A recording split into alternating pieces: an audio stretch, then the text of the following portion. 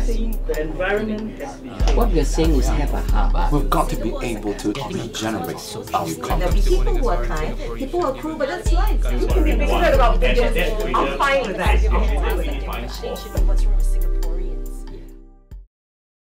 The World Health Organization has warned already that it's going to be a major condition among adolescents. Um, what is bringing this about? I think one of the issues about adolescent depression is that uh, there is also a developmental cause. Uh, uh, adolescence, uh, the adolescent brain is actually still developing. So um, what we know about brain development is that brain development continues to about 30 years old. It doesn't stop at 21 when you become a legal adult. Um, in the adolescent years, uh, what they uh, know is that the adolescent brain is more reactive to emotions. Yes. We feel more, we hurt more, uh, we cry more. So it's more intense. it's more intense because because the frontal lobe of the brain, uh, the ability to control the emotional center is not as developed as in the adult. So people have that um, Heightened. more heightened emotion, emotionality in their adolescent years compared to their adult life. Yeah, but different people react differently to the same circumstances. Uh, yes, they, they do. Uh, I think one of the issues that's facing youth today is cyberbullying, and cyberbullying today is not uh, hitting someone, but it's also a lot of uh, what they call exclusion. Uh, it's ostracizing people through the internet, and of course, ganging up on social media to um, to affect an, another peer member.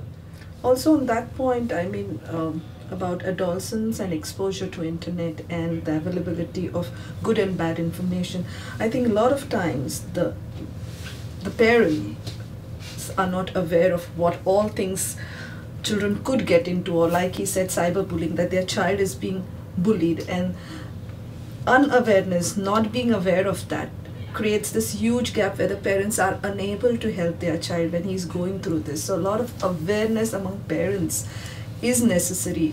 But isn't it normal for all adolescents to feel that parents can't help them? No, it's adolescents feeling parents can help Yeah. them is different. It's parents not being able to help. Okay, is actually not being able to help. Actually not being able to help because they are not aware as to what exactly could be happening there. Happening there. What is their child going to be exposed to? It's like So, how can this problem be addressed? by creating more awareness amongst uh, parents as to what exactly They have to be more intrusive?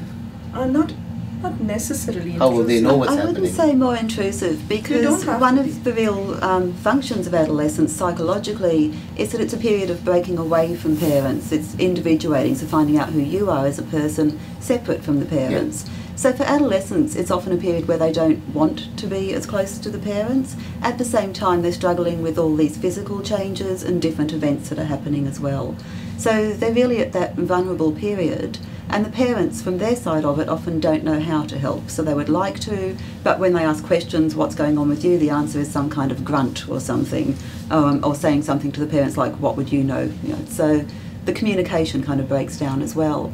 Um, for the parents, um, often the sort of level of technology the adolescents are using, it's a whole new world, and they don't really understand it. They don't understand how um, far-reaching it can be. So what can and they be really done don't know it? what Yeah. to do about it. It, it, it is So, a worrying well, problem, but what can be done the most important things is to get talking about it, to educate ourselves as a community, for parents and for everybody else to become more aware. So, what exactly is Facebook? What happens with the information? Who sees it?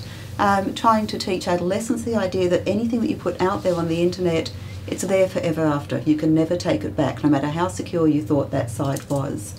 Um, so for parents, it's about trying to sort of keep the lines of communication open with adolescents through that process of the adolescent growing up and breaking Are they the only ones that uh, have to look at this situation, or could there be other people that young people interact with that have to also be on the lookout? There's certainly other people, so people like teachers become very important, and often young people will kind of attach themselves to particular teachers, so there's some opportunity there Yeah. um, for sort of enhanced relationships with a particular teacher.